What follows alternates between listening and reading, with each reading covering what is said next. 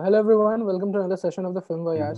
Today we have with us a writer whose story, whose stories have had a had a certain sense of conscience and a certain sense of depth that we all have connected to immensely. She's given us films like Chhapaak, Margarita with a Straw, Waiting, Guilty, and of course Kanu Behl's next Agra, which is very much awaited. Of course, the writer I'm talking about here is Atika Chohan. Thank you so much for joining us, ma'am. It's an honor. Thank you. Thank you for getting me. I've been seeing all my colleagues like going on lives with white birds. I'm getting this, so this is a great moment.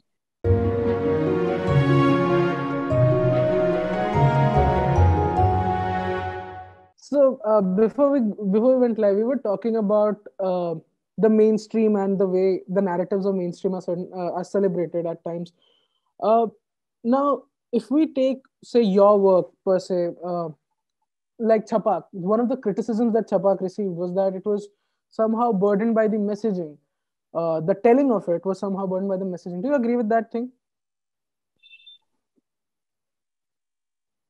I, as I was saying, I think I'll, I'll not answer it with a yes or no directly. I, I just know that uh, there are no binaries. Like the I've, I've, I've, I've lived a very, you know, like a difficult uh, 15 years in this career. And uh, I think each year has been about knowing lesser than before.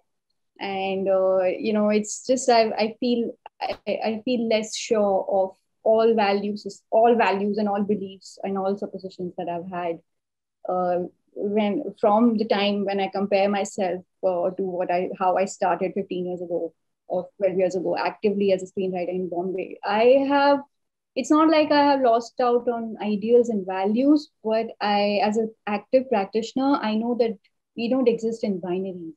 And uh, there are so many creative negotiations and compromises that go behind, you know, behind the back during, you know, kind of like navigating our way through the demands of the studios and uh, the commercials, the actors, there's a lot of creative loss like we just it's it's literally like you know you keep just losing out on um, the quality that you intend that you intend to create in the beginning. And every stage that you cross cross through you you keep losing out on on some quality or the other because you keep negotiating. At the end of it if if some dhacha remains and it it still resembles like you know you can still identify कि ये वही शेर बनाया था you know you can still identify the animal or the beast that you began with I hmm. believe it's pretty much, I would look at it as a triumph. I would look at Chhapaak as a, success, as a triumph. I, I mean, for, for the subject that it was,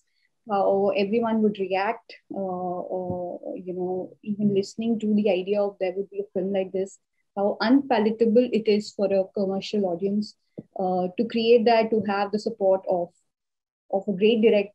I mean, it was Meghna's story, but to have the support of a great, of a big actor on it, to have mainstream studios uh, promoting that film uh, and producing that film, well, I feel it's it's it's a it's a huge milestone in the in popular Indian cinema. So I look at it like that. I can speak of of it from the basis of screenplay. And i know that yeah i have i have negotiated a lot with what my original voice was and what i had to do to integrate a more uh, sort of like a accessible uh, format. Uh, you know because uh, we were riding on so much money that uh, we couldn't just possibly uh, not not persuade, not chase the audience. We had to chase the audience enough. Uh, and yet we do it in a dignified way. So that was the reason why we had to take the middle path that we took.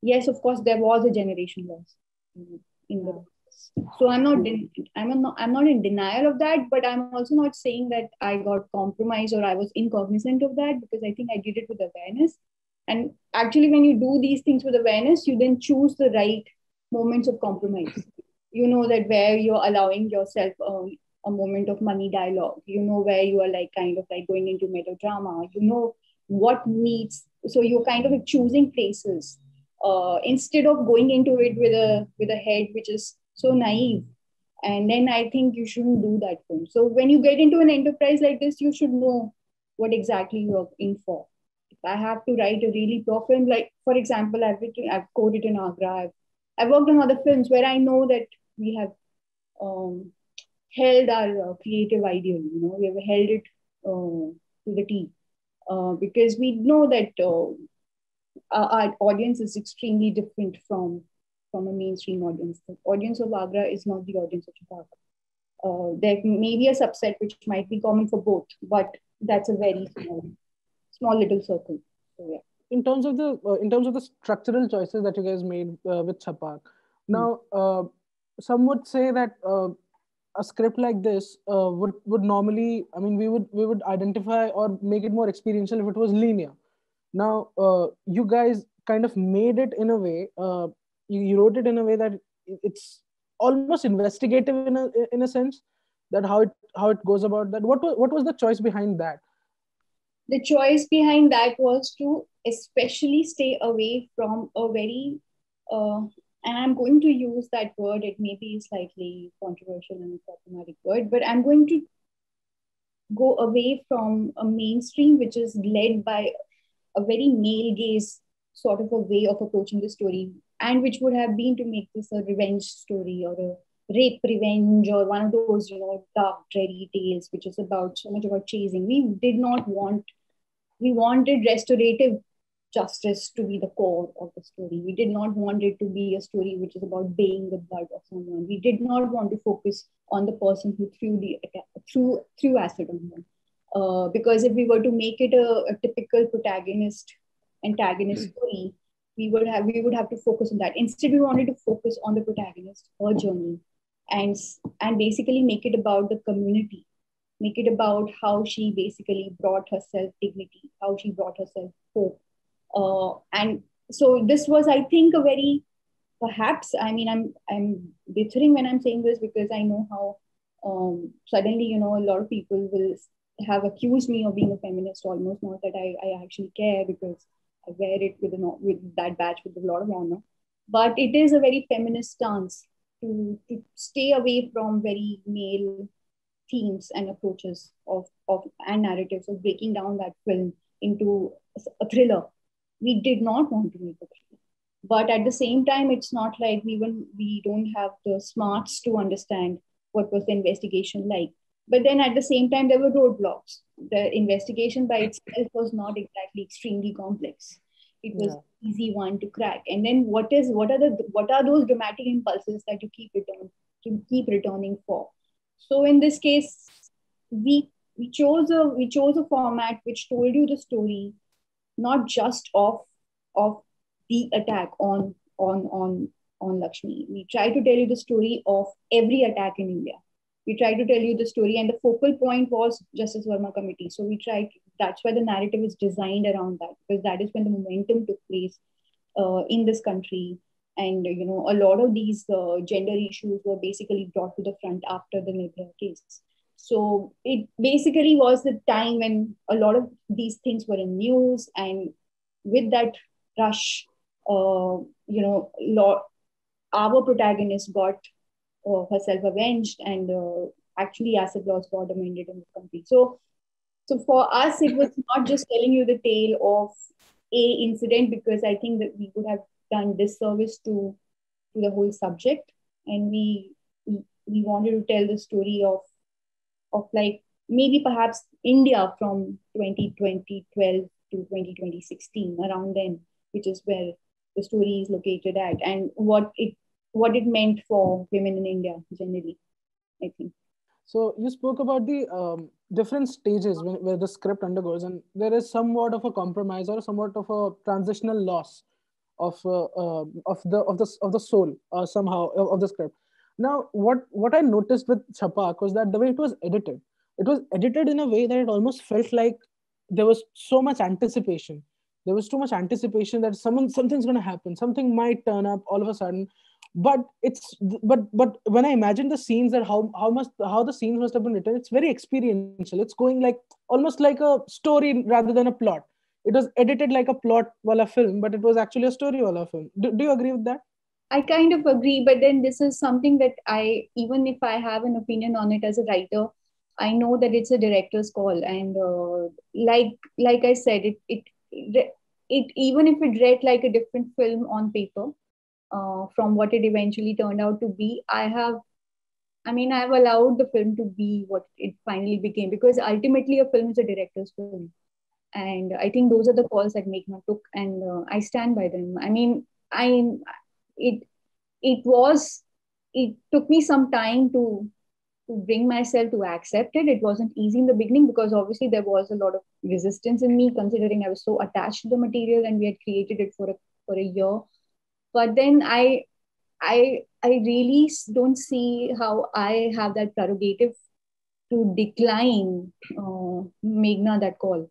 Uh, so I I mean, finally, you know, it's it was a result of a lot of composite choices, and those choices keep evolving. You know, it's filmmaking is a, is is like uh, chasing a moving target. You know, it's it's never really like how you intended to be because there's just too many collaborators along the way, and it's uh, even a good a film that finally looks uh, you know good to you or whatever perhaps is an un- unintended result of of some accident perhaps a happy accident. you know because you really don't know. I mean um, 50% of the work that we do mostly falls through the shelves like after the first draft or something. So it's just you know it's just i mean i've over a period of time i'm only grateful like i i, I had a larger way of evaluating this, uh, like a more, I think, more uh, narrow way of evaluating this uh, a year ago.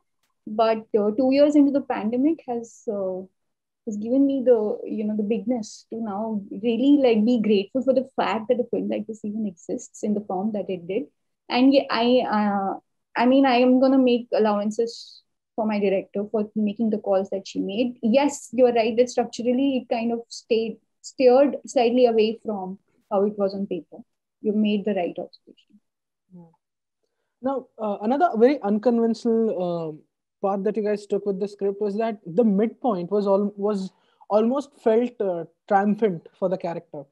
Like usually we see in the middle of the story, right there, it's like the rise of the conflict, and and on a high we just like say like interval, so that you know people are anticipating what's going to happen. But it's almost like the first good thing that happens to her Hmm. and she comes out of the court and uh, like that's where and i think that that's a very polarizing choice that you do because maybe the audience might lose interest at that point mm. now uh, what went behind uh, writing like you know that okay this is where wanted to it's a very good question it's a very thought through question it's it we wanted to go beyond the material success of of of winning a court case because what does winning a court case to an acid attack uh, victim uh, lead, uh, lead to? Like it all it does is basically give you something on paper. You feel avenged in the moment but it doesn't give you ever return you your face back or your normal life back.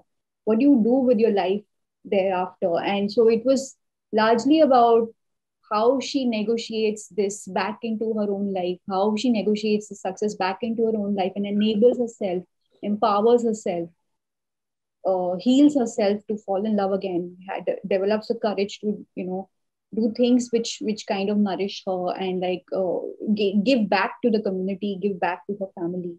Uh, so for us the focus was that. So it uh, you know a lot of time if uh, i know that it may sound like a little um, um uh, flaky when i say this but uh, the response that I get from screenwriters and uh, creatives is very different from the response that I get from actual survivors who saw who really identified with the second half of the film. And I can't tell you the number of survivors who uh, came to me and was so grateful to see a love story for Deepika. Yeah.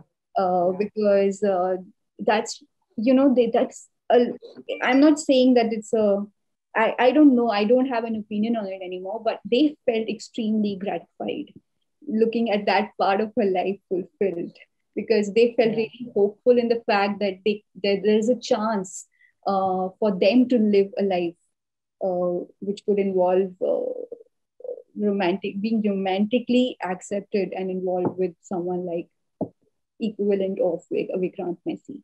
So it you know, for them, it felt like, oh, there is hope for us. So they came out of the theaters feeling extremely hopeful.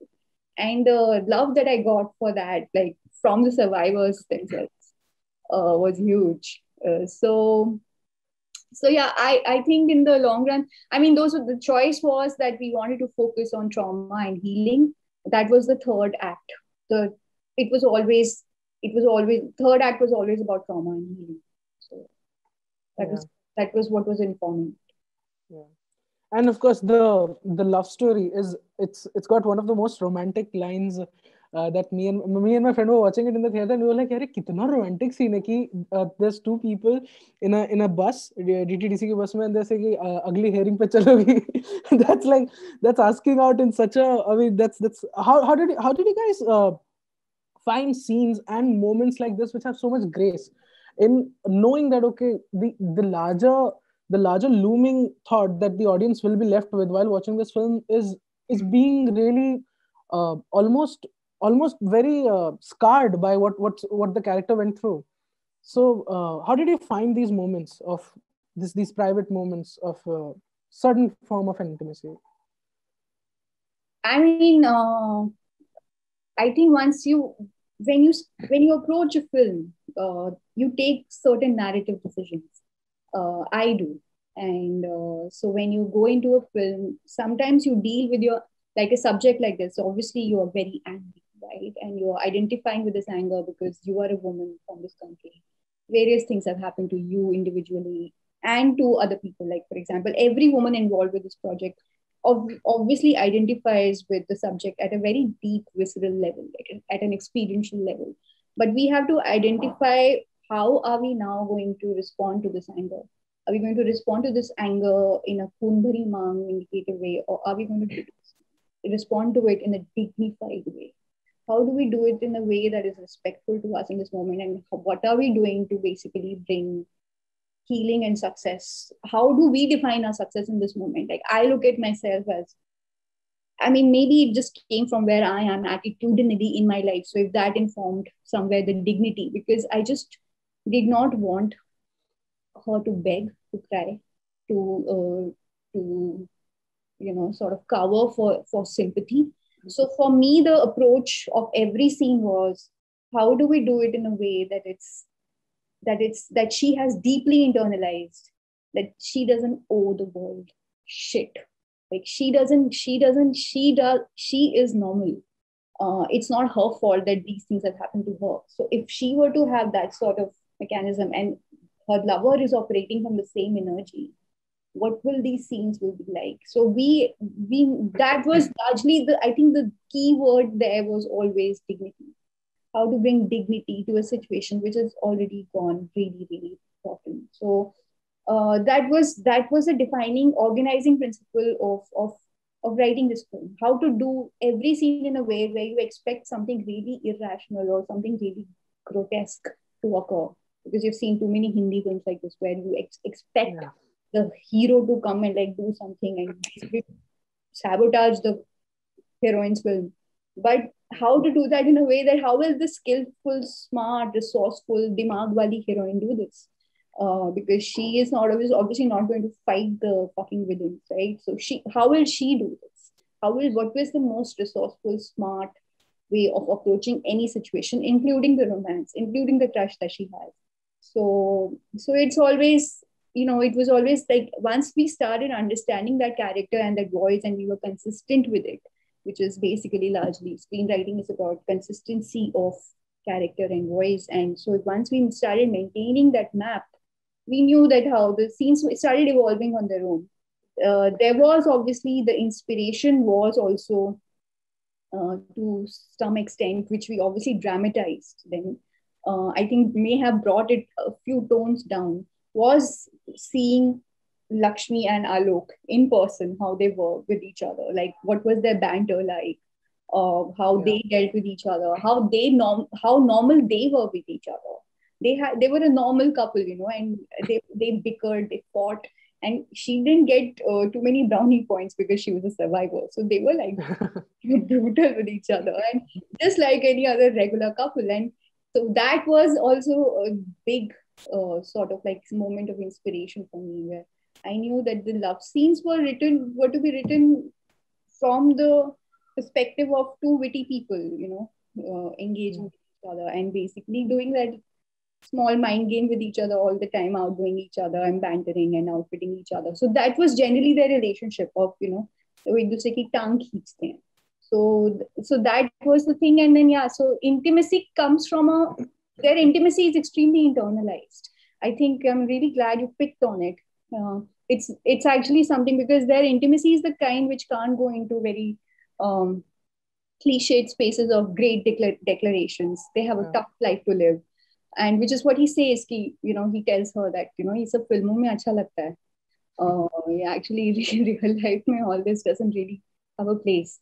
Uh, which which is actually their life you know and uh, so uh, all your moments of intimacy are deeply internalized. It's so much in behavior and it's so much in small affections uh, small kindnesses which are almost missed so it was so much written in there were hard there were the idea was to give less dialogues and more behavioral instincts to both yeah. characters uh, for them to show love to each other because they have eyes for each other across the courtroom or across uh, crowded places.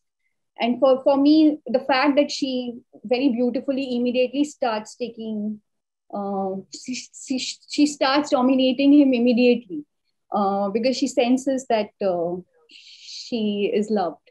She senses that because he is never going to say it, but she senses it that I know I have now in his heart. And so she kind of like starts kind of encashing that and for every scene starts with that moment so so yeah so that was largely these were the few uh, impulses yeah. Now um, another thing that, uh, that that we have to like of course uh, that that stood out for me uh, in Chhapaak was the title sequence now that is something that um, like the when the song comes and it's just I don't know. I've never seen uh, like mostly when filmmakers kind of take a uh, like a, a, very disturbing. scene. Either they put it off screen so that you imagine the worst, or they kind of go very grotesque. But this one, it's it felt like you guys are exactly as you mentioned at a distance, and it's like almost like uh, someone is trying to peep through uh, the camera. That is, is, she okay? What's going on with her? No, writing a sequence like that on paper. Uh, what was it like? Like just just uh, if, if you have to write a scene like this that okay when this happens when when the main uh, plot point of the film which is she uh, her getting attacked what was that like in terms of this in, in paper like how did you give the visual cues to your director in terms of uh, so that she picked on it and kind of gave it that treatment? Uh, so normally any process where you know between a writer and a director works on the basis that what the writer is possibly giving the director is is a visual option. Uh, but the director has a prerogative to choose it also evolve it as time goes between the actually writing the script and making the film or maybe the director themselves are the co-writers so they really know they're hand holding the vision on paper with you uh, uh, the attack scene was actually written slightly differently from how it has been pictured in the film uh, it was a very like it was a POV scene. So it was uh, you know Malti's POV of getting attacked, and it was a very bloody, worry vision and all of that. So it, I knew that the director, even though we kind of like tentatively agreed on that this may be one route of doing this. Uh, I'm only speaking very technically right now. I'm not even going into what yeah. it led emotionally to uh, what we had to see, what all happened, because I think that's not perhaps the focus conversation. But keeping all that aside, wo sab ho gaya uske baad, like once you were technically breaking this down, we knew that there were two two ways to do it. You know, one is the one is the way in which finally you see it getting pictured, and there were there were more evolved ways, less evolved ways of doing this. Finally, I think it all depends on location, what was the moment like that day when Meghna shot it, what she instinctively felt is the right need right now. So I think she has taken a call. But when I have written it on paper, on paper, it was always a scene where it was the entire scene was shot through Malti's POV. So actually, we are experiencing the world from after she has been that. So she, her vision has become blurry. The cars are coming from both sides and she can't really stand up and you know she's uh, with her with a sort of like a staggering foot she's going around so the camera is shaking so it's basically was something that was to be done with a handheld but yeah. that was a decision that we kind of agreed on on paper in screenplay but then it got translated differently which is which which did work obviously because you you are bringing it up and it had an impact on you. So uh, but the, the idea was to ally it more with the with the, the experiential journey of the character. Uh, so to, hmm. because this was something this is the core drama of the film so it ha- it could be done. But maybe perhaps for for for sake of accessibility i think she she took another visual decision um, yeah because that that actually that actually felt uh, like you know you couldn't watch it. It was almost i mean you could you, you were just imagining the worst and it it, it felt in, right in the beginning and the, with the song of course and uh, later on in the hospital with the slow motion and everything it was it couldn't have uh, like i can't imagine it uh, now it being a pov all thing so which one do you agree with more? As a like do you agree with what how it is right now i agree with it i i i, I all my disagreeability has at this moment been taken out. The only time I was very dis- disagreeable is when I immediately saw it getting translated for me because it was more, more a process of transition for me because I've created something and I'm I'm so attached to what I've done. And uh, over a period of time, I have allowed to let go and detach myself from the film. So now when I see it as a as a whole, I know that it works in the format that it is. It it it may have I it may have been a kind of like a sore thumb if one scene suddenly was away from the style of the other scenes. You just stylistically now the film is like marrying, married. Yeah. Every scene is married to each other, right? And that is all that matters. It's all about unity of style. Yeah. You know? So it doesn't matter because if finally the director is interpreting it through her voice and uh, she has chosen that and I'm okay with it because I, I mean, yeah, there will, there will be,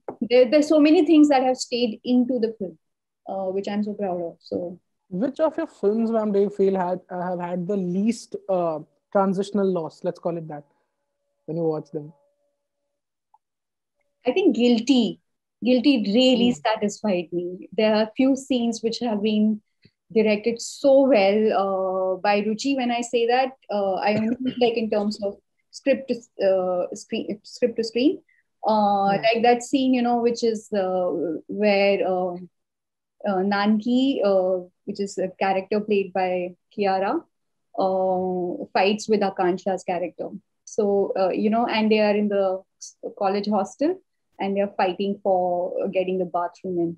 And uh, I just love how it has been shot uh, because that's how I wrote it. And she's kept every beat into it and only made it several notches better. And there's so many such things that she has done where like even the scene of the uh, you know the the blind man walking into the subway yeah. and gagging uh, the way ruchi has done it it i when i saw it i had goosebumps so for me i felt extremely satisfied especially with at least like you know if you see five of those scenes with the way you have written them and that is exactly how they get delivered. Like it's just so satisfying. Uh, so yeah I, I love Ruchi. i'm working with her again.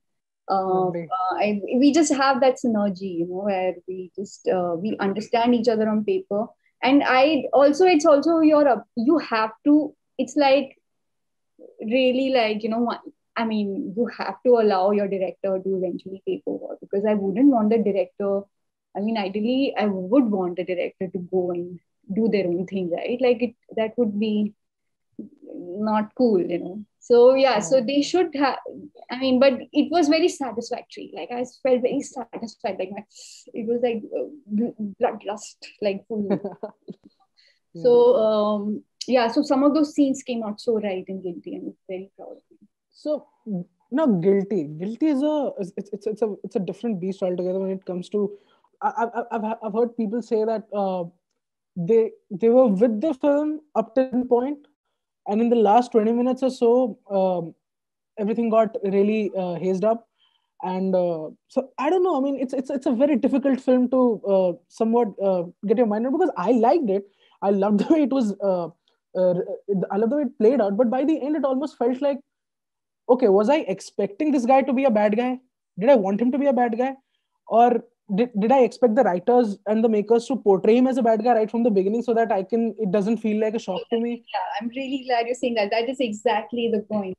That so many of these, so many of us, I mean, that was exactly what was the finding of the Me Too movement.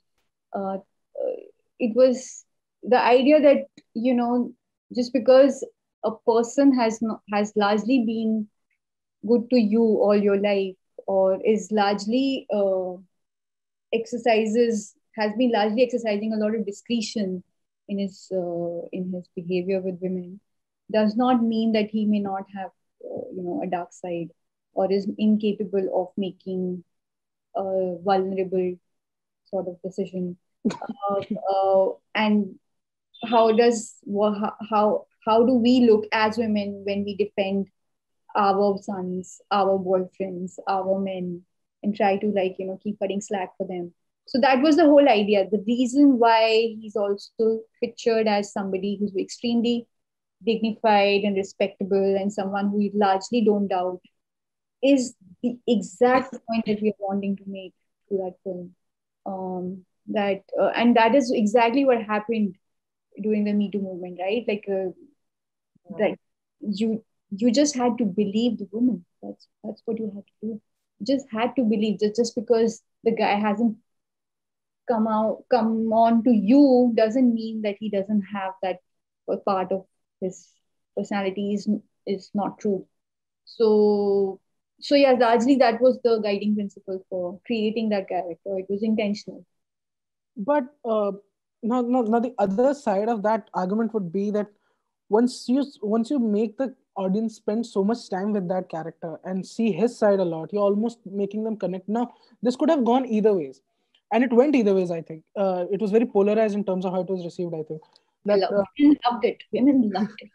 it, it. I can't tell you i'm a hero of some sort amongst like yeah. really some sort of an underground feminist culture because of that film. And a lot of people a lot of my friends like you know who, who debate screenplay with me say कि ये plot था वो plot था ये गलत था वो गलत था you should just see the women responding to that women it is coming from such a deep visceral place and um, uh, because they they really felt the pain and they ha- because it is also the story of gaslighting if you felt so gaslit by the narrative and you feel like questioning the writers and the authors imagine the women who have gone through these kind of traumas all their fucking lives.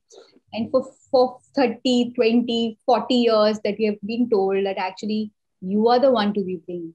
You are the one to be blamed for your beauty. You are the one to, to be blamed to fucking exist. You cause it you you make us do it so i think somewhere it's okay if we played around with men who couldn't understand the film and basically felt a little demotivated and unsettled at the at the climax because they were like अरे good guy ये तो हम है हमने invest किया इसके अंदर अपने आप को हम ऐसे नहीं हो सकते is exactly the intention of the film very thought through clever creative intention uh, there may there are some script flourishes in the end which I did not agree with uh, as a creative for example the way it unravels in a, like an amphitheater in the end for me perhaps yeah. it was a bit too out of or inconsistent with the with the nature of the film.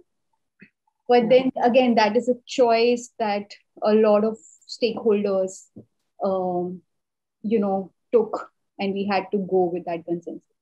Uh, there was netflix there was dharma there was ruchi herself who was attached to that opening because she had come up with uh, that opening like several years ago so you know and also like the best for her because she wanted this film to be seen by uh, a TG which is not the TG of Soni, which is a film I love.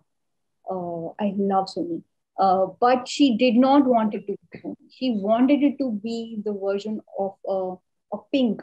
We wanted to make a feminist pink. We wanted the film to have its money dialogues and faces, which should be watched by regular people Uh, we wanted it to be a Netflix film, you know, and like the, when we say netflix film we wanted wanted it to be a popular film so that decision that clarity that we are making it for for the same audience which actually watches uh, i know what you did last summer yeah so it's it's literally like with उनको पकड़ेगा क्या क्योंकि सोनी के लिए सोनी जी का जो audience है वो पुअर नहीं वो वो गिल्टी नहीं देखेंगे So you know so yeah. for us that clarity and that confidence uh, came from that place where we knew who we were making this film for with with this with this uh, idea that okay you have a you have a protagonist whose uh, whose own uh, uh, like she's also unreliable narrator i mean she hmm. even she herself doesn't know that if if, if what yeah. she's seeing is actually happening or not yeah now with that um once we once uh, once it led a certain way and then it twisted around on its head um were you guys ever conscious or somewhat uh, apprehensive that this can completely uh, kind of face plant everything that we've done up until one hour 40 minutes or this can this can either elevate it were you guys ever skeptical about it कि यार इतना बड़ा जो ऐसा अचानक से ऐसा घूम जाता है कि everything is just like you know hazy in her head No, I think we had the confidence because I, it's not like we are doing something really radical and novel which hasn't been tried before. Oh. I mean, it's just very standard, uh, uh, you know, trick uh, employed by a lot of films, like a perks of being a wall wallflower does the same. The, the lots of things, lots of things, like 13 reasons why, or or you know, I think a lot of uh, this genre films, you know, take this sort of uh, narrative risk, and uh, so we knew what we were doing. I I didn't think we were doing something. We knew we were doing something uh, uh, difficult but we yeah. didn't think that we were doing something so unconventional that it will not be accepted no but say uh, like it it, it works I have to a... say at this one point i have to say this a lot i mean not to dissuade you from questioning further on this we can yeah. talk yeah. about this till cows come home but i'm just saying that i know that this feeling that you're feeling uh, this feeling of feeling incomplete and uh, uh, feeling unsettled by the narrative is something that I normally always hear from men and never from women. Just wanted to gen. I am openly gendering your query, and now yeah. you. Definitely, yeah, definitely. I, I know, I know, I know, I know. I knew this when I when I when I was getting into it that it's only because I'm a guy and I can uh, is, is, the reason why I'm having this. Uh, yeah, because you're not you're not emotionally processing it. You are intellectually True. processing it, True. and True. Uh, because you're processing it through the maybe perhaps through the map given for the male character. But all the all the women are only identifying either through Akansha or through Kiara, and yeah. they they found it absolutely reasonable. You know, they found it they there was they were not shocked at all. It was surprising in inevitability. They could always see that this guy. There are red flags. There are red flags. The, the red flags that the men didn't see, the women could, and uh, because there are enough, uh, you know, positioned in the film, so the women identified. We, I, I did identify the red flags, and I knew that somewhere it, it might be leading up to that point, but the way it played out, is, is that's the reason why I was saying that okay, at one of 40 minutes it takes a kind of a turn. And the reason why it works in a series like 13 Reasons Why is because you have so much time with these characters that you can see the red flags and everything that can kind of put you in a way uh, like polarized uh, opinion of the character, give you a polarized opinion of the character. Now, do you feel a, a, a narrative like Guilty would would uh, would play out? I think more more seamlessly in a in a longer format I think it's the it's the type of subject which kind of lends itself very more easily to a series because there was so much to talk about. Yeah. So, but we were we have we were making a film, so we had to contain it within that narrative. Yeah, perhaps some places needed more breathing areas.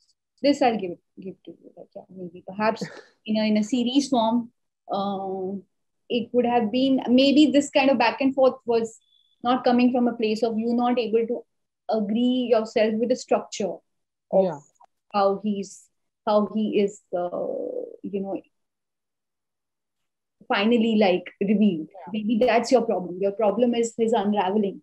So exactly. perhaps that could have been greatly service too. But we had too many you know too many threads to tie. And so maybe may, we may have done things. Also a lot of time from script to screen in the edit so much of the film has been knocked off. You know, like it was a it was a slightly lengthy. It had become a, like a two hour, 30 minute, two hour, 15 minute sort of film from where it was compressed down. A lot of the plots, uh, subplots have been like uh, shed along the edit. So there was a lot of meaning and meat and a lot of philosophy that we had like kind of like shaved off uh, to to make it a far more uh, easily consumed film because that's what happens when you make an OTT. Uh, unless you unless you know you unless an OTT acquires a film which is already like doing really well, which is what happened, for example, in the case of the Great Indian Kitchen, yeah. where it wasn't made for Netflix or Amazon. It was it was it was made for for the director. It was made to service the voice of the director. And then from there, it became so hit, so such a big hit on uh, what's that, NeeStream that um, Amazon had to had to go and uh, pick that film from me because it was getting so, so many hits. Um, so yeah. Like for an artist to kind of uh, reflect the space they are in their life, in their work, uh, creatively. Now, is that something that you uh, subscribe to uh, generally? That whatever you're going through in your life, you somehow it'll find uh, a way into your narratives. I don't know how to write what I what I haven't experienced. I and I always stay away from trying to pretend that I can do everything. I can't. I am I am not that experienced and uh, not that good at my work.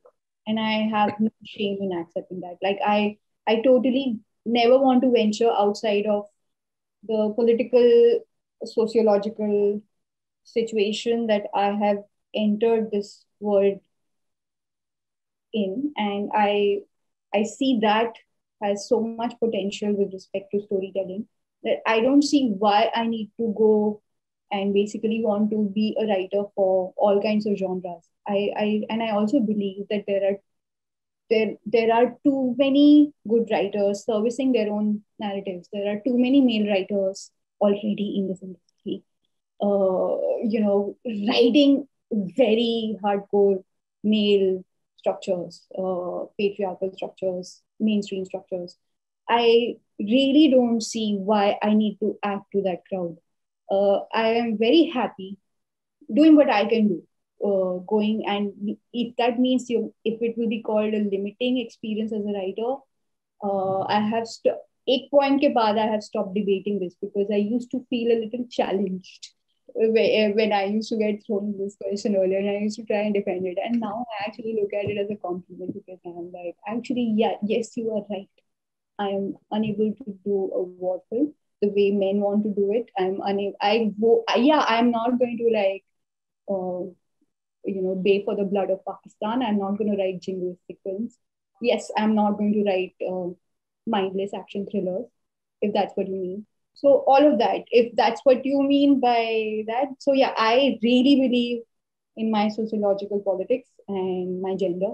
And i i have i'm here to service what i have experienced and what i know.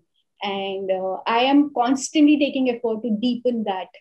I'm constantly taking effort to educate myself more because i surely know that i don't know enough but i don't have a desire or a thirst to become someone else. Uh, that you will have to give it to me. That's my most redeeming quality. I don't want to be anyone else but me. So you know, so for me, uh, that bit is that that has given me a lot of clarity. That's the person I am, and that is obviously what informs my career, my decision in storytelling. Um, and I actually don't know who who is a good storyteller who works outside of this ambit. But then that is a debate perhaps for another um, kind of like a same Q&A. Uh, I don't see how, I mean, if you're not really convinced by or you're not like basically losing your sleep over an experience you, you want to write about, uh, uh, it will be false. Like it, it you can't imitate uh, someone else's trauma. You can't imitate that experience. You can't imitate someone else's life journey. You have to to to really bleed on paper. You really have to uh, you know channel what you have gone through. And I, I i mean you can we can diversify this we can add more to it we can deepen the journey and creative experience and final output but i don't see i mean in this lifetime i feel if i actually just service uh, these roles that i have for myself with the kind of films that I have in mind, the vision that I have for the next 10 years of my career, I'll be good. It's other ambition. And that's also maybe uh, because it's coming from a place where, where you already uh, had a certain body of uh, have had a certain body of work as a journalist, and this is something that you're doing out of out of the necessity of lending your voice to to things that you feel very strongly about. Now, is that a reason? Yeah it's I feel very strongly about these things. Yes, it comes naturally to me. People around me can identify it, creatives around me can see that. And they're obviously like giving my passion a platform. So giving my rage a platform, giving my anger a platform, giving my voice and skill and talent that comes with it a platform. So yes, I may have maybe just like that right person in the right place, wrong person in the right place, sort of like a situation, one of those. But uh, I have there are two aspects to it. One is trauma and one is skill. And uh, if I were, if I am, I, I I believe it's a it's a combination of both, and I feel my duty, professional duty, is to is to get better at both, uh, understanding the trauma and uh, applying it more skillfully and in a more engaging way uh, in my work through my screenplay. So for me, it's not like either or. It's not like I mean, yeah, if you were to say, are your services, screenplay services open for anyone's hire? They are not.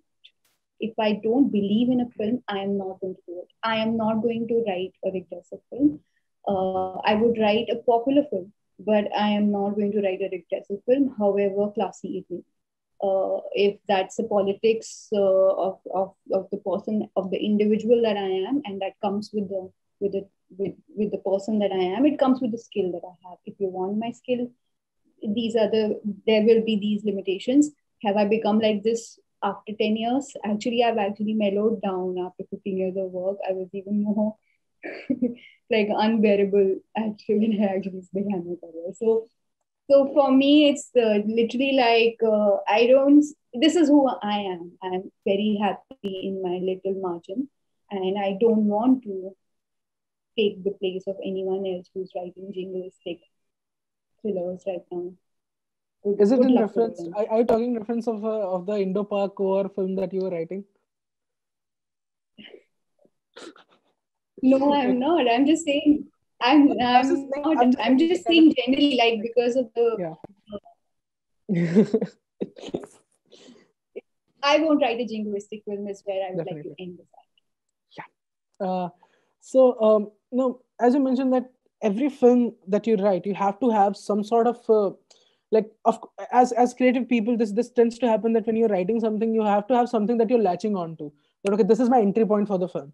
Uh, this, connection with the subject. If you don't yeah. have a connection with the subject, you really don't know what you're bringing to the table. I mean, you may bring words to it, but they'll be empty. They'll be empty. Yeah. And you would rather be if you're bringing skill, but you'll still have to have a co-writer with you who will bring the experience.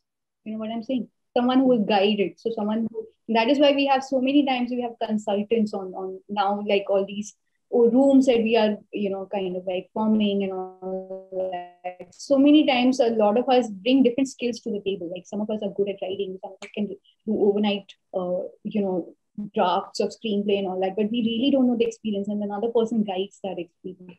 Me, they may have gone through it. Like you can't write a uh, you know, like if you if it's story about a trans character, you're saying that you're gonna write it without a trans person in the room. Uh, I'm, or at least have a consultant, or have five five trans people or five trans creatives to read it. Uh, or like generally like how it used to happen in India, like, you know how a pink is written by three men and is told through the POV of a man. Uh, so you know how you even and even when that is the case, I, I still have a lot of respect for that film because it did open up something. If, because there was a pink, there could be a guilty five years later because yeah. at least we could give a reference of the genre. Uh, so that so I'm so grateful that think exists. So I'm not really dismissing its presence. Each step towards evolution is is of some importance, and we can't radically change overnight. And that is the kind of patience we'll have to have because there are so many uh, you know movable parts here that we are dealing with. As a practitioner, I know it because it's I can't be so impatient. I'm not I'm not a fan. I'm, I'm actually doing this at a, at, a, at a level where I have to actually handle the egos of 50 people at one point. So, uh, so because it's it, like any other thing in the world, it is a, it's a, it's a business at the end of it. You really have to make room for everyone and find creative midpoints or, uh, you know, like for, for, for every, for things that you want to do and what the other person wants so yeah i i just really believe that that's you re- if you if you really can't bring something new to a subject i think you should steer clear of it. I think you should write what you know. Because i'm sure there are there are thousands of stories uh, waiting to be told in a way that no one else has told before in the way you know it. Um, i think we should try and be ourselves. Uh, that exactly is what like electrifies writing writing becomes extremely re- electric and uh, you, you tend to channel a flow uh, when you know what you are writing about. Obviously you have to pad it with a lot of research. You have to read a lot. You have to watch a lot. You have to do a lot of genre uh, learning. And none of that that is taken away. But to say that you're going to get on a subject which doesn't actually interest you if if a woman's trauma actually doesn't interest you, uh, then don't write it. Doesn't make you less of a feminist, you know, because don't try and just tag the fad for its own sake.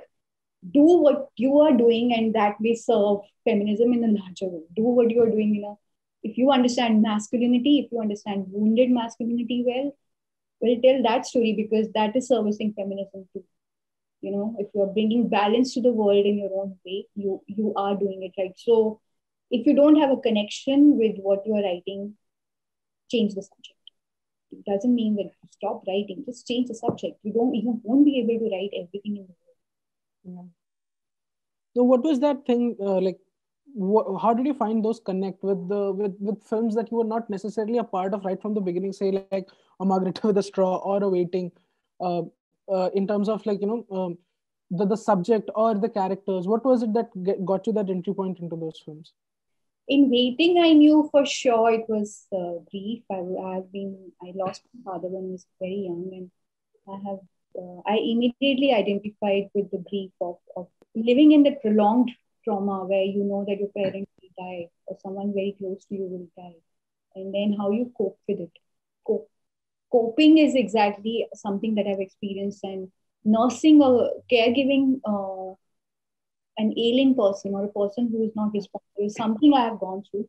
Uh, so for me, that uh, immediately was my uh, something I immediately related and so I knew I. I mean, I read the, I heard the subject, and I knew I had like it was that simple uh, because I, I know it. Uh, and then for Margarita, uh, I may not have had cerebral palsy, and I am not bi uh, bisexuality, but I have. Uh, there were other aspects to it. For example, I felt her her confusion and her vulnerability and the exploration of it through through the character that she was, the hot mess that she was, uh, was something that I could relate to as a woman and uh, for me that was that bit of the journey where she's literally finding herself through making mistakes um, was something extremely identifiable also the fact that she was a Delhi girl uh, you know who's trying to explore herself and all that so for me those those aspects became a matching energy of sorts and uh, then obviously there were other veterans on board so for example like it was something experientially much more like it was Shonali's experience, her cousin's story, and all of that. So we had all of that, uh, you know, resources and uh, to to really know that we were doing it right. Uh, but yeah, then there were there were other decisions that we were taking uh, with respect to screenplay and dialogue, uh, where my skills were then for example, being channeled. So in each film, I feel I I normally never take a subject which is out of my emotional uh, ambit. If I don't know it emotionally, uh, I know that I won't be able to sustain the project because anyway, it is a it is one of the hardest jobs in the world writing, and uh, to write on commission briefs is is is another is a very different beast. And if you then make your life easier by doing something that you know and you like and you constantly can bring yourself to the table once you start slackening on the, the other aspects start you you can restoke your fire by by feeling inspired because you feel so passionately about what you're doing uh, but if you do it and everything about it is wrong, or like um, you're misfit with every aspect of it structurally, emotionally, subject wise, uh, then you you then you you you might must be a great writer, man, because I want to meet you. who are you? Who are you? Who, who can write without feeling emotional? Oh no, bhai, matlab dikhao shakal. So uh, that so that way, you know. So sometimes you know writers see it's one or the other like sometimes like an aaron sorkin i believe like has found his rhythm you know yeah. the, the rhythm comes from his style uh, so yeah. you throws but also you can see that there are even the subjects that he has has a certain consistency. So it's not like he has his pet themes and subjects.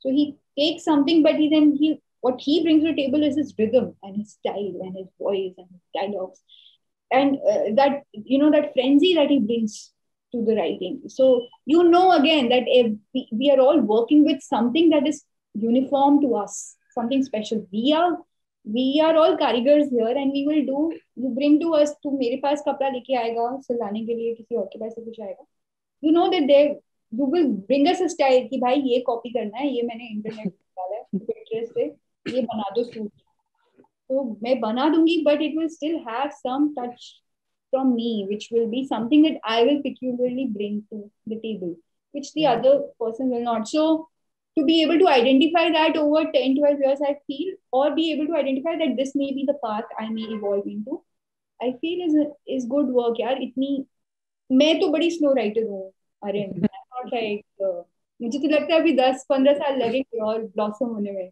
मुझे नहीं इतनी जल्दी जल्दी मेरा घर है ना Margaret Margaret Atwood की तरह एटीज में I'm, I'm actually focusing uh, on staying alive. I'm like, uh, ठीक है मैं ज़िंदा रह लेती हूँ. मैं if I just manage to not get killed by 60, I would have automatically I would start writing well. Lovely. I've stopped being in this game only. क्या करना है मतलब जिसको जो करना है करने दो यार ठीक है अब नॉर्मली कितना टाइम लगता है ड्राफ्ट लिखने में uh, it depends on the nature of the it depends on the nature of what we are writing some subjects are easier uh, and they don't require too much research uh, so i think my i don't take any, anything less than a six month like a six month for a for a zero draft mm. for for a full screenplay dialogue draft because i do screenplay dialogues like i do get a lot of dialogue work but i normally write screenplay dialogue and I take six months to do a first attempt. I don't never promise anything before this. I I am a slow writer. Uh, I I don't do anything with कभी ऐसा लगता है आपको like कि मतलब when you watch a film जहाँ पर transitional loss ज़्यादा होता है कि मैं बना देती यार इससे तो क्या ही है मतलब like do you ever feel that urge to direct some sometimes कि अच्छा यार ये तो मैं इससे बेटर तो मैं बना लेती no what is the question? Do i feel the urge to direct? do you want to direct? Do you want to direct? I want to direct. I want to direct but i'm not in a hurry because i love being a writer. And i think even if i start directing i'm not going to ever let go of collaborating with other creatives who are uh, so i i want to reach a point where it should be a very organic shift from being a writer who is now owning her you know autonomous work uh, and then just taking one step ahead and becoming a director for perhaps owning the tales that I want to tell, for the stories which have originated from me. Uh, yes, I do have the of a fanciful idea of being able to direct uh, those stories, original stories. But uh, for everything else, uh, I want to be allied to subjects which are very dear to me. uh, which need my work, which need my voice, and I'll always be open to the idea of collaborating as a writer, as a as a director. I also at one point want to become like a showrunner. Uh, so you know, so for me, I just want to expand in areas where I I do definitely control is a wrong word, but to be able to, I mean, it is a wrong word, but then I'll I'll, I'll freely use it in this moment. But to be able to yeah. creatively control uh, the exact vision that with which we have started something. So for me, I think to empower that vision, uh, the dream that I have, if it involves direction, I will. I don't want to become a director because I want to jump hierarchy, uh, because I feel that's that's a little unwise as as a move. Because yeah, yeah. sometimes if you're a better writer, then stay stay a writer. You know, like not everybody can direct, and uh, and it is a very different beast, and it's not easy. Uh, so I also am like a little lazy like that because I'm like, why should I do so much effort? Why should I put in so much effort and become a director? I am very happy being a writer too. So having said that, the reason why there is a there is a need or a desire to go one notch higher is not because I want to be more known or famous or get more money. I mean, I want more money, but maybe perhaps start getting better paid for my speeches. But but uh, the idea is to arrive at any point which gives you greater control and power over what you want to tell. And if that is how organically it will break down for me five years from now, like I've given myself five years to figure because I have a feeling that if I continue to do what I'm doing over five years, I will hit a point where I'll I'll feel limited. Uh, you know, a point ke baad, I will exhaust myself and I may want to go into like a one time like like how you can just see a Kaufman or a or a soft yeah. also like once in a while just going and they, you know being behind they want to be behind the wheels finally like being able to drive your own car you know you don't want to be driven all the time uh, but then at the same time never really letting go of your original passion because i think by spiritual nature, I'm a writer. I'm not a director. Uh, so that I feel is uh, is largely how I see myself growing, and I I want to grow very slowly. Everyone wants to grow really quickly, and I grow really really slowly. I I will take five years, maybe ten years to become a director. But when I want, I want when I want to make when I should be able to make that film, I should be making it with a lot of ease, grace, resources, um, uh, also skill. Uh, you know, like uh, I may have viscerally may have absorbed that much skill in 10 years because uh, you know so for me I, i'm not in a hurry because I, the, I don't know how good i am at my work but i do know that i have uh, i have exacting standards of what good work is uh, and i think that keeps me going that keeps me restless and sleepless every night. I see a good film and I feel so jealous and I feel so greedy and I feel so angry and I feel so restless that I'm stuck in a in a structure which is not allowing me to to move in these ways. And for me, to find freedom, I think my larger aim is to find freedom for my voice. If that comes with direction, if that comes with show running, if that comes with becoming a producer, whatever it takes, like even if it means I have to I, am sorry, so whatever, like whatever it takes, will go into that process. The idea is to empower the voice and gain more freedom, and also to identify the voice because um, I don't know how people are able to immediately know like one film के बाद मतलब सब veteran writers जाते हैं इधर मैं veteran I am a young writer who's still finding herself and I have uh, I am here for a very long haul like छोटा छोटा धीरे धीरे ऑन द साइड कुछ करती रहूंगी कोई ज़रूरत नहीं है मुझे किसी के साथ कॉम्पीट करने की। कोई एम ही नहीं है मेरा ऐसा। So I think that way I made my life very simple lovely what was your time at film school like? Like this uh, this idea of voice uh, ढूँढने वाली जो बात है वो पहले कुछ पहले एक साल में आप सब कुछ होते हो फिर अगले साल आप कुछ भी नहीं होते हो और फिर पूरे टाइम आप वही ढूंढ रहे हो कि भाई what exactly is the voice? So what was your time at film school like? Honestly like film school involved a lot of various work. It involved there was like we were supposed to write uh, you know like chart treatments one big screenplay and all that. Wo sab to ho raha tha but honestly that's what i wrote in the school was shit. Like now that i read it i'm like oh god ne- never should anyone in the industry should know really this is pathetic. Uh, but obviously i mean i look look back i think what it did for me that year in India was it exposed me to such amazing cinema. Like I watched the film every night at MT, and uh, which is the main theater. I don't know if you're familiar with FTII. Yeah, so you know we would all just like wear shawls and all that, and raat ko aat sade aat baje. That idea of like just watching the film and the access to such diverse uh, uh, cinema where you could watch an Angelopoulos or like a Greek you know, a Greek filmmaker or like an Iranian filmmaker.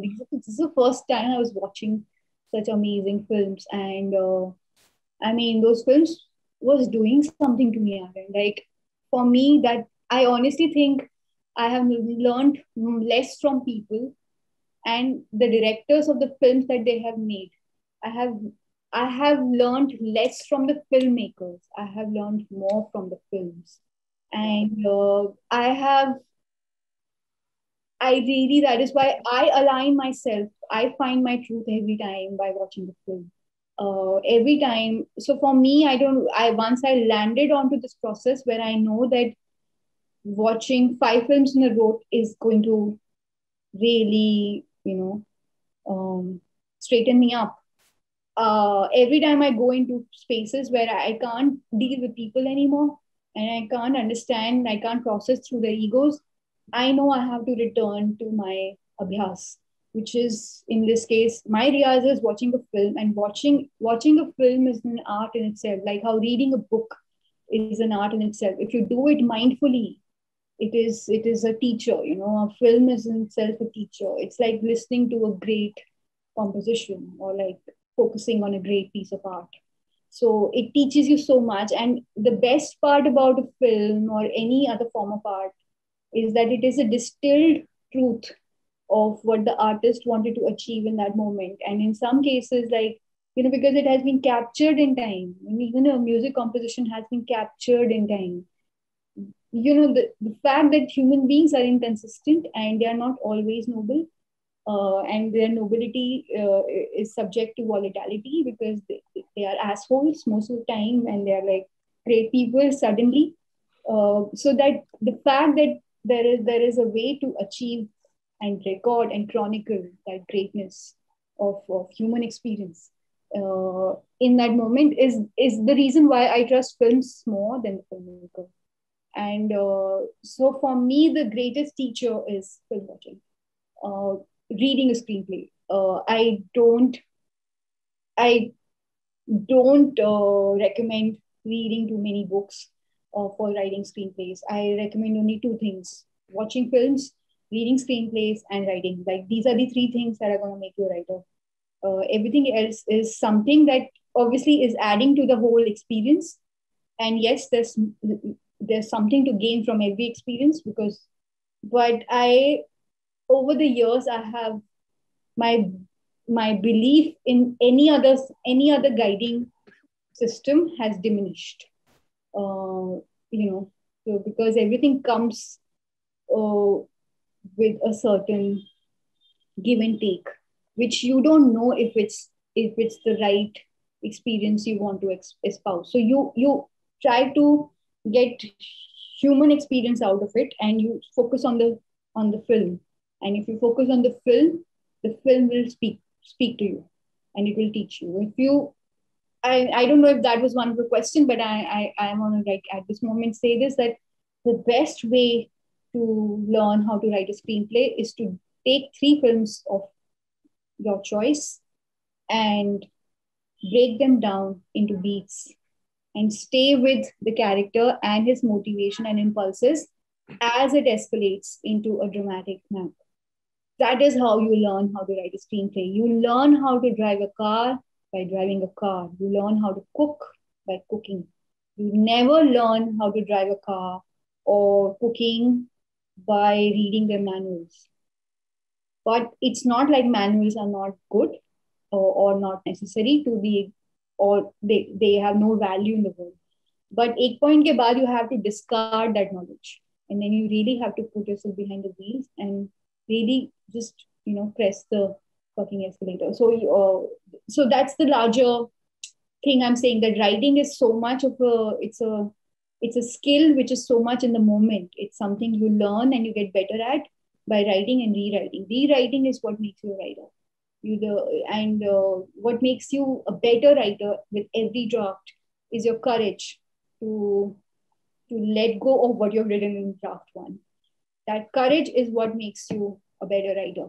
Uh, not uh, uh, if you if you get egoistic and defensive uh, and you will get attached obviously to what you're writing and you will defend it. But at one point of time to find a midpoint and to find a creative solution uh, to something that you have uh, very narcissistically gotten attached to is the exact moment of breakthrough in a screenplay and uh, so yeah so you it's a, it's it's uh, it's a it's a very interesting game of how you're breaking down your own ego uh, while you write a screenplay or because it's a very humiliating process because you keep getting proved wrong and wrong again. And uh, you know so i feel writing a screenplay really humbles you. And writing generally as a career it's like it's always taking the piss out of you. I'm never really confident about myself never. Like you never have a good day. I'm just stressed. I just feel i'm like I'm so shit on paper. So yeah so and from there you're constantly you know dressing the crime. You're constantly doing it constantly doing it. And uh, i think that's that's what it is. The ones i think the happiness comes from the cheekiness the frivolousness the lightness with which i now appear is because i have accepted this. I'm committed to this process i know that this is how it's going to happen i know that there are no crazy solutions i know that there are no overnight successes I know कि patience से time से यार art बनानी है तो time लगेगा बिना time के आर्ट नहीं आती है और जिसको बहुत जल्दी जल्दी आ रही है फिर वो शायद कुछ होंगे देर may be some prodigies it's also also so much environment based right like you know like if you both your parents were filmmakers or you grew up in a certain environment so you absorbed cinema at at a cellularly at a very at a very early age where you've not acquired it over when i did i was doing this when i was 25 but somebody did it at 5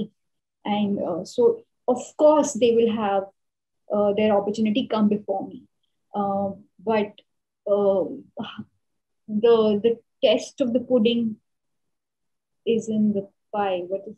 The, the saying that you know that it's in the it's in the it's really in the in finally what you make out of it uh, how maturely you you you channel your uh, creativity and also how how dedicated you are. Like perseverance plays a really big role.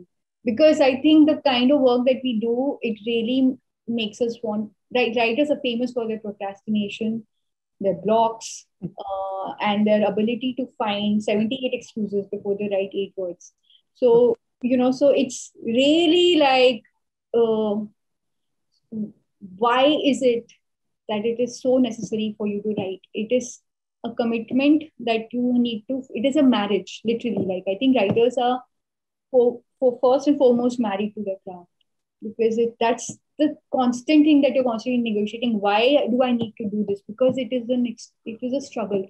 And I also know that if it is not a struggle, if it comes too easy to you, then maybe I mean, it's a very arrogant thing to say, but maybe you're not a good writer.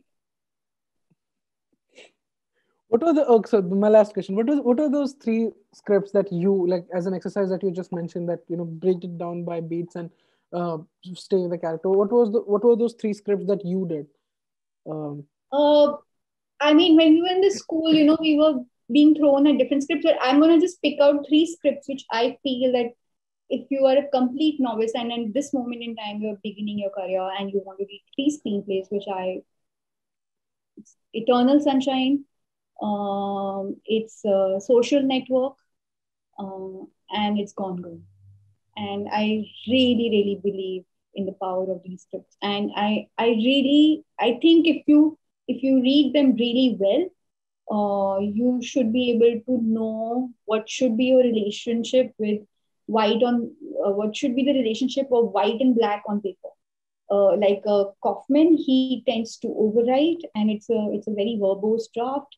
Uh, then a Sorkin who writes differently. Also, for example, the draft of screenplay of Prisoners.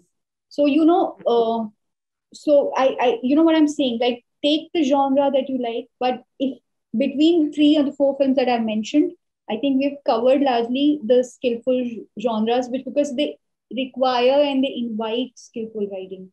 So they give you an understanding of brevity as versus length.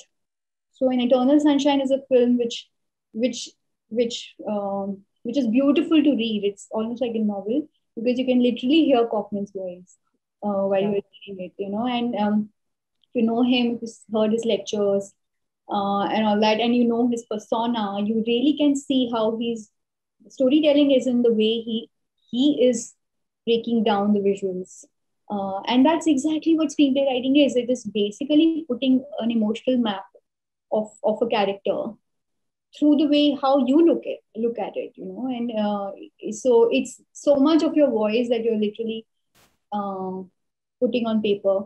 Uh, there, there is a duality in that. Don't be too eager to find your voice, but at the same time, don't be too eager to suppress it. Don't make it an absolutely flat draft without any humor and fun and individuality.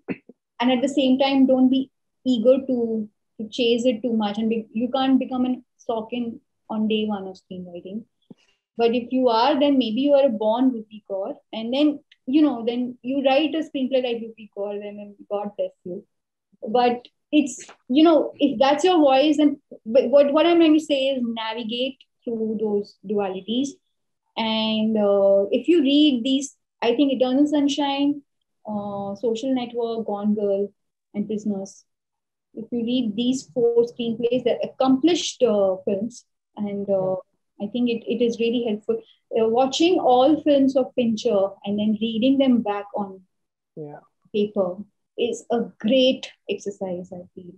Uh, it's a great exercise in how he translates each line. Exactly, because he's not writing it. Yes. Yeah he doesn't write but he monitors and he he without taking credit he does work with the writers so so many what is beautiful is how he how each line is a shot and uh, that's not necessarily a rule now again if you have to break the rule you have to know the rule uh, like a Greta Gerwig film doesn't really follow this. Uh, you know because uh, her screenplays are so much more like it not necessarily is bound to the idea of doing a short breakdown basis each line. Uh, that's not how she goes. But then because you know she's so much in control because she's also going to direct her film. Yeah. She has that kind of confidence to give you a very good narration on paper because she knows well as a director somehow but other writers who are working independently and who may hope that their directors will be like Fincher can actually just follow the basic rule of like taking each line as each shot and then um, sort of like following that and then obviously play around with it once you get better at it um, but largely a screenplay is storytelling in in in the form of yeah. Visuals in the form of camera movements in the form of how you're seeing it movement by movement beat by beat.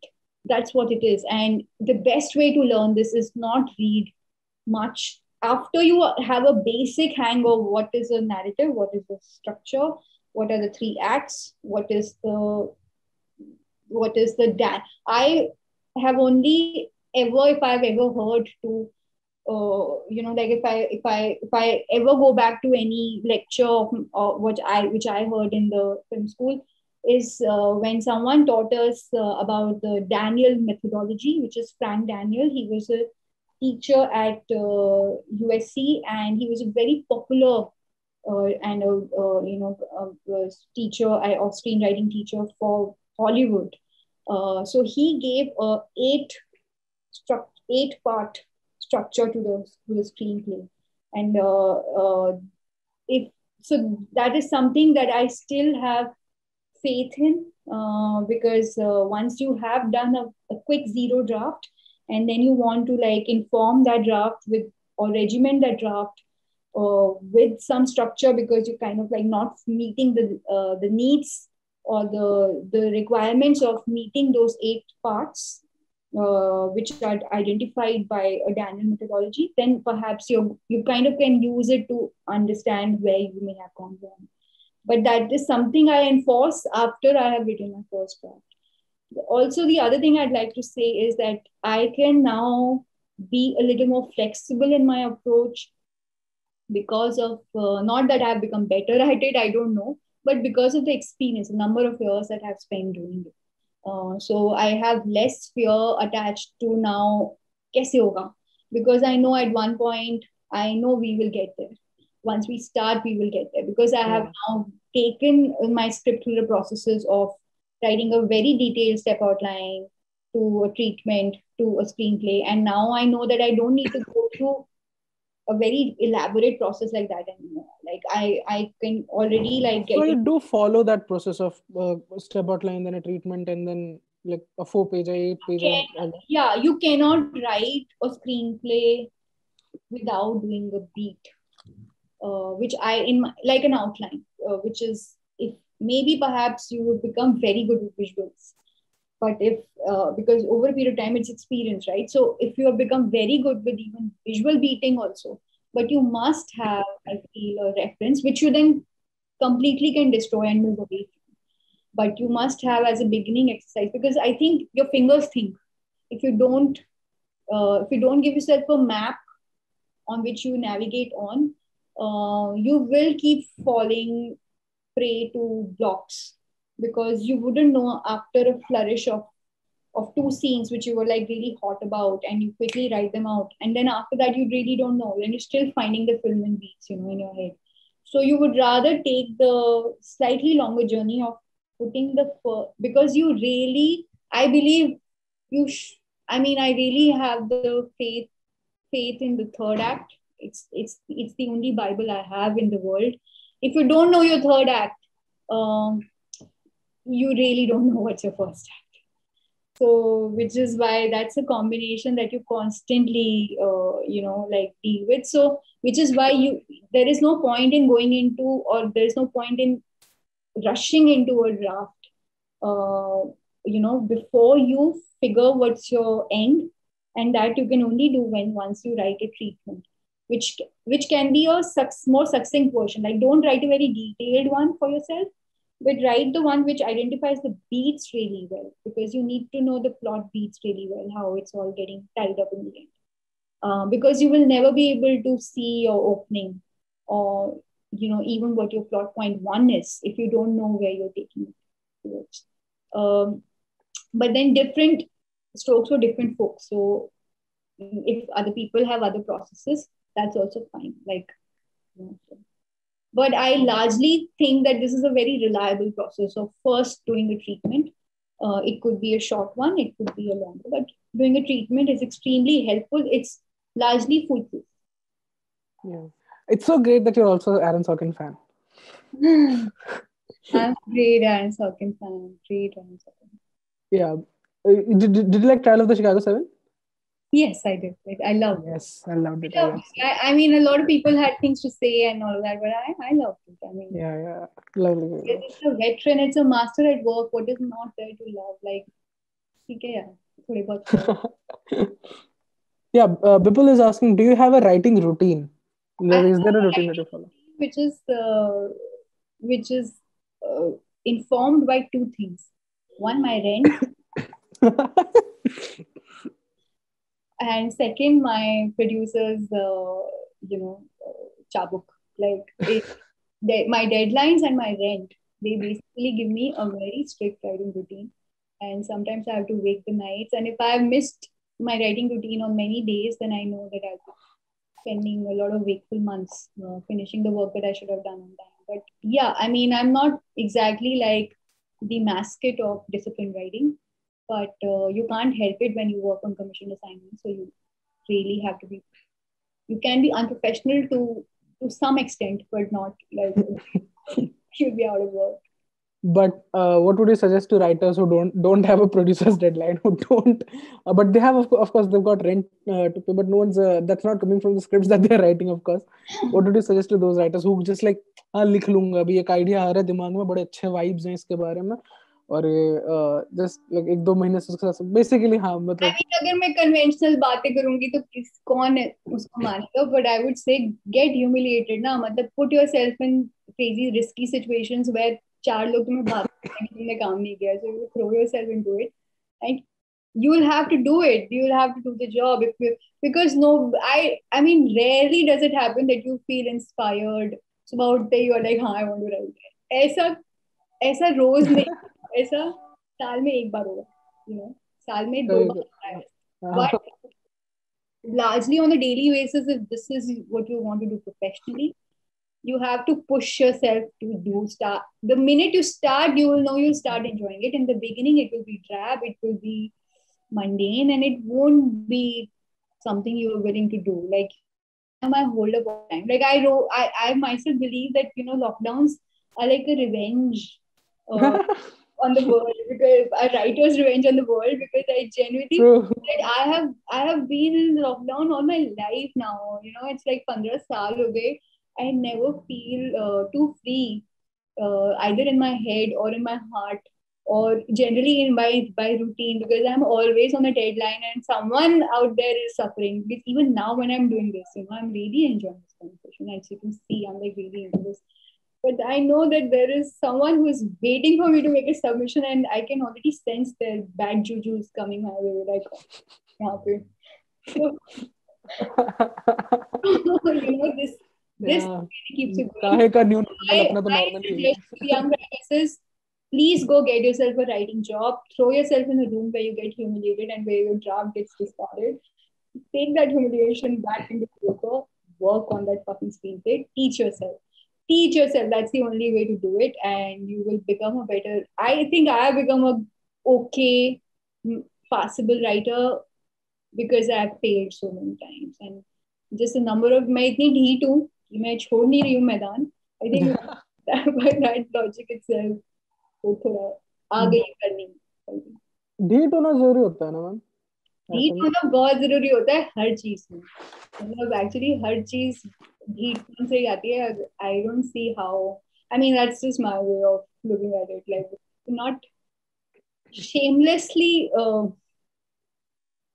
uh, obsessive about that one thing you won't be able to I'm shamelessly obsessive about films. Like I'm obsessed with films. Like I love the craft and I, I can't wait to, you know, I, so for me, every, that's my wet dream that that's constantly keeping me going because otherwise I, I don't know what's, that's the thing because it's not easy to do this. It's not easy to hold yourself up for, and write for hours and work on deadlines and like keep seeing your ideas getting compromised uh, always work on other people's briefs. These are difficult things to do. They are not easy on your ego, on your personality, um, generally for your stress levels, mental health. Um, you know, these are these are like these are risks. These are hazardous decisions that you've taken with your career. But what keeps you going is that the your the deal breaker is your your passion for films, and if the deal breaker is that if we can keep that pet dream alive on a day-to-day basis, it's like ultimate muse, right? Like it's, yeah. it's always moving thoda aage, thoda aage, falling for that fucking trap.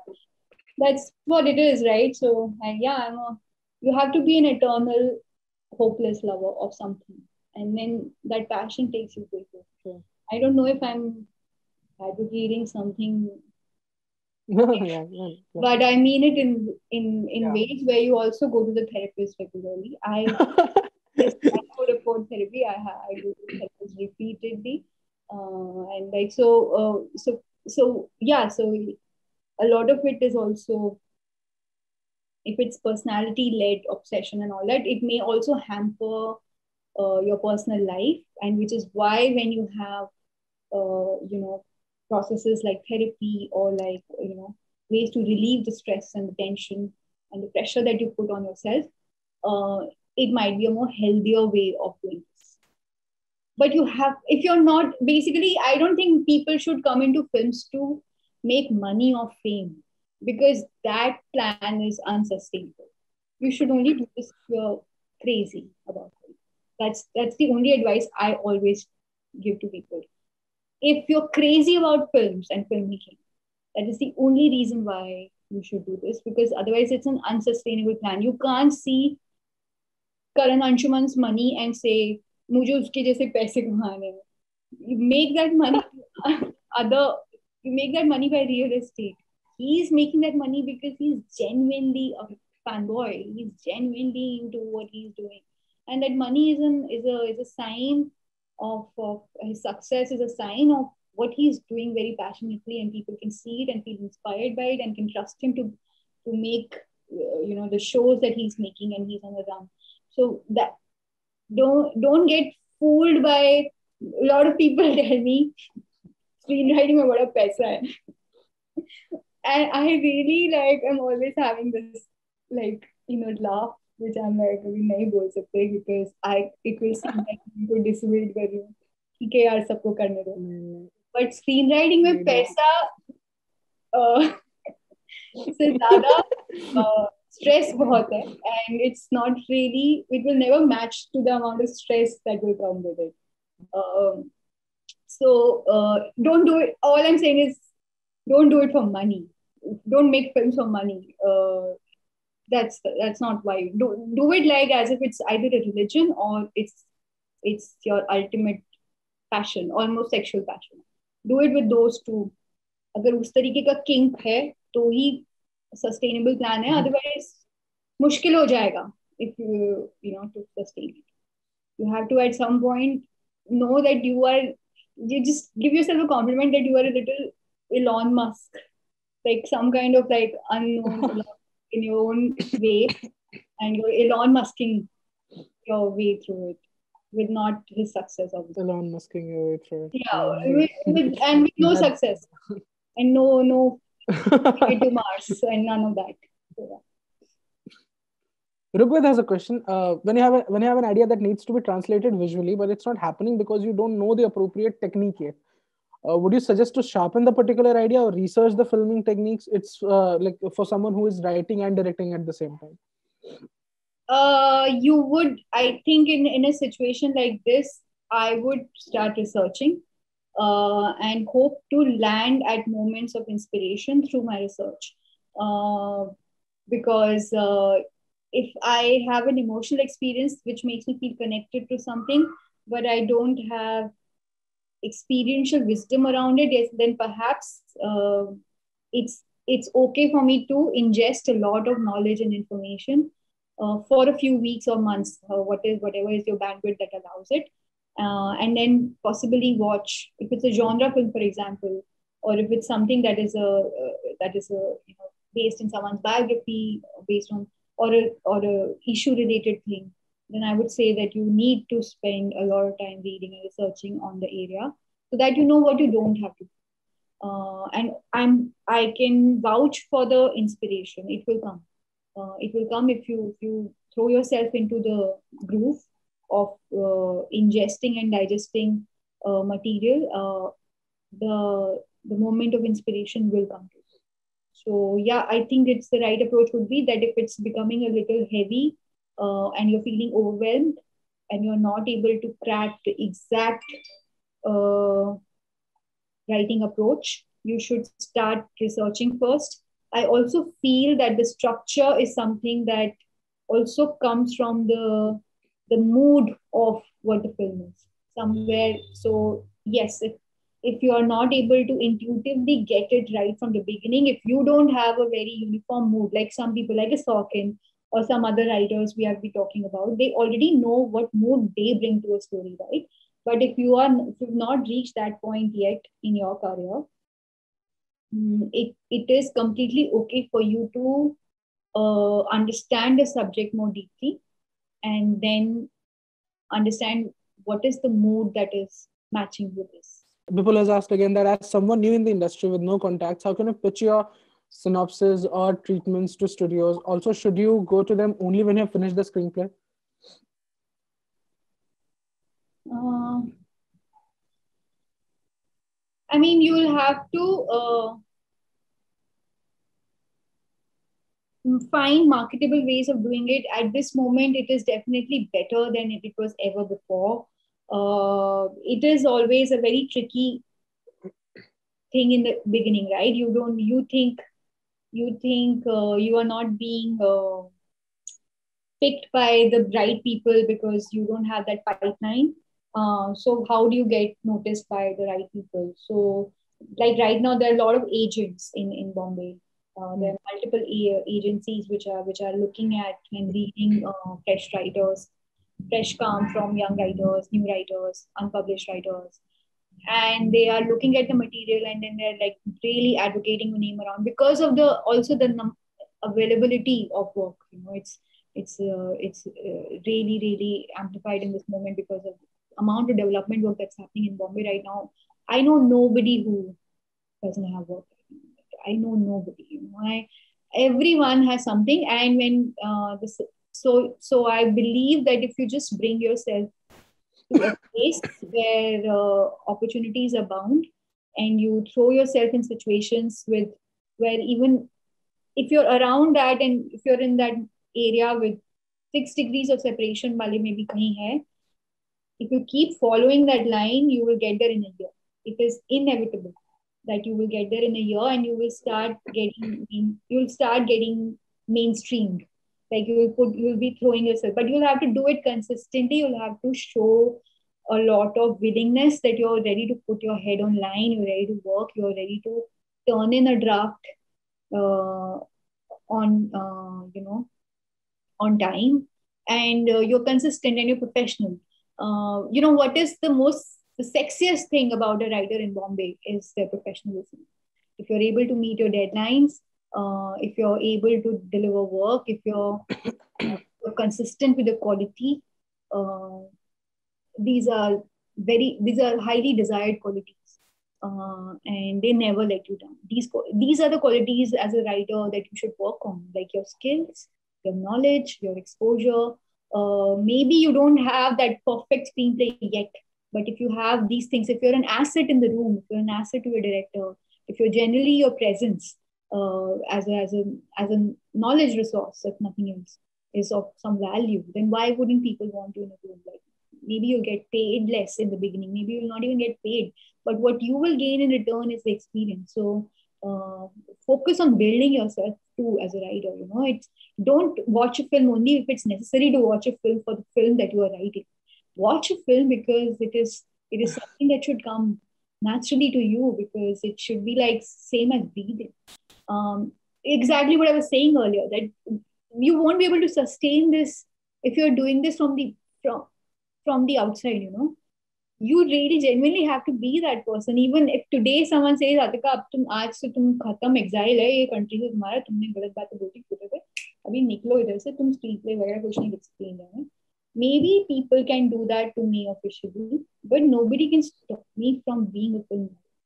I was a film lover before I began writing right? Like I was a film lover as a child, and I've just made so that's what I'm trying to say. No one can stop you from adding to your skills and knowledge, and that's your first dharma, uh, literally as as a writer. So so do that.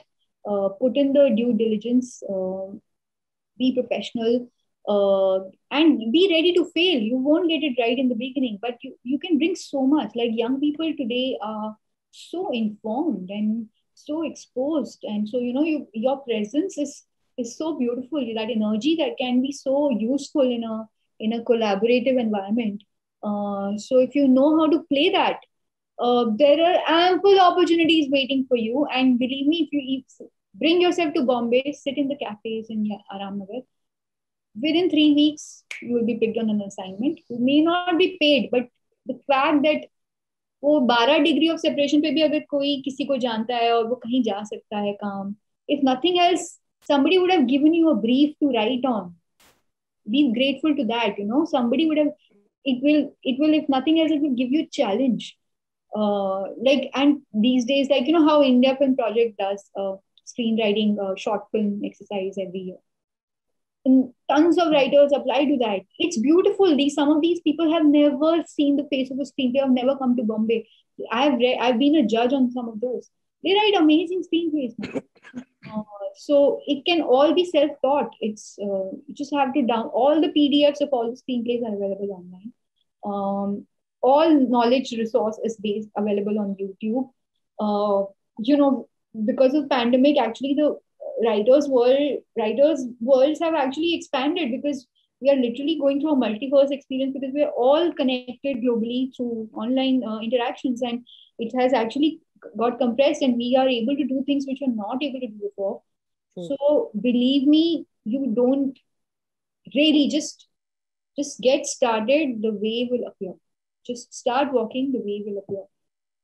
So uh, yeah i would say take risks come out uh, put yourself out there, put your head online, be ready to fail, be ready to get humiliated, and you'll be there in a year. Just stay consistent with the effort and keep upping your skills. And the second question, second part of that question was Should you uh, come with a full screenplay only? Once you have a screenplay? Not necessarily, but something, even if it's a short film or like story ideas, uh, if you have a screenplay, very good. But if you don't and you're still learning and you don't know, you could be an associate on a, on a project. You know you could just say i'm going to be the associate on this project where i'll do the menial work. And then you see another writer shape it. And then that is how you learn. So uh, if you can if you can discount it like that and basically get into the the idea basically it's a process right? It's what you learn is a process. So either you do it on your own which may not be perfect but or you bring in a short film. You bring in five scenes. You say okay, these are the five scenes I wrote. It can be a short film of made of five scenes. So come up with something like that. It can be an ad film. People, people from advertising, how do they get their chances? They've written ad films which is a page long, and yet yeah. see that they can bring zingers to the line, life to the to life, and all of that. So it's all about to yeah, it's all about uh, thoda brazenness and you know and and thoda skill and thoda smartness and basically all of this will be informed by your need to do this if the need is not coming from a place where करना है करना है करना है जुनून नहीं है तो फिर उसका कोई सब्सिट्यूट नहीं है मेरे पास कोई किसी घर में आके तुम्हें ये मतलब आईआईटी नहीं है खुद करना पड़ेगा so yeah that's that. if you do if you're not obsessed with it to me yeah So with this, we come to the end of today's session. Uh, thank you so much for speaking to us, ma'am. It was really insightful. It was great that you did this. Thank you so much. And thank you so much for everyone who joined in. It was really great. Thank you. Thank you. Thank you.